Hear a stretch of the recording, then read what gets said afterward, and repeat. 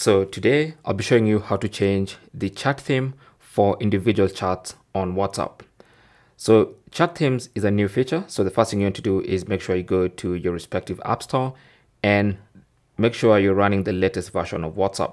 So whether you're on iPhone or Android, just go to your app store, find WhatsApp and make sure it's updated. So let me check mine first. Here we are and you can see I have a pending update. So go ahead and install just to make sure you're running the latest version of WhatsApp Messenger.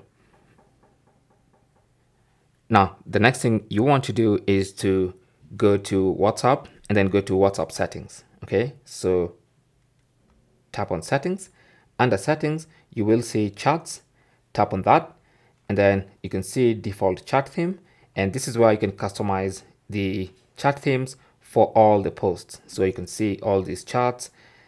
You can scroll and have different chat themes. You can customize the colors of the background. You can adjust the brightness and set whatever theme you want. Okay. Now, once you do that, that's going to change the chat theme for all the chats in WhatsApp. But what about individual conversations? So for that one, you simply need to go to a specific conversation like this one.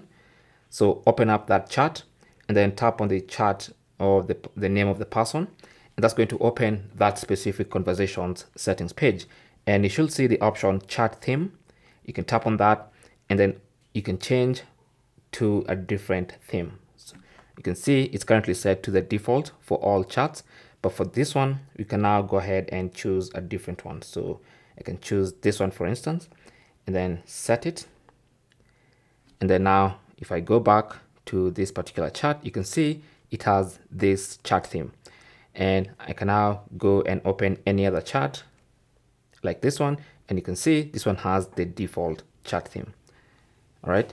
So that is basically how to set different chat themes for individual conversations on WhatsApp. Thanks for watching. Don't forget to like and subscribe. And if you have any comments or questions, talk to us in the comment section. Good luck.